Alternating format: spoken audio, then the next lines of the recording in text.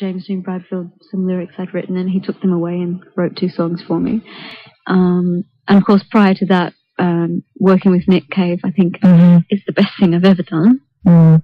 So did Um, you go to them then? Did you say, here, look, this is what I've got? Um, with the Manics, uh, I, I'm, I'm not entirely sure, but I think it happens over a beer. and um, James was speaking with uh, one of the guys from my record company, and I imagine they said, "Oh, what are you doing? What are you doing?" And and uh, Tom from Deconstruction would have said, "Well, we're mainly working on Kylie's album," and and then it just came up in conversation how in '91 the Manics were interested in me recording a duet with them, yeah. and I never knew about that at the time, so I only found out last year. Oh, wow. And it's And- all happened.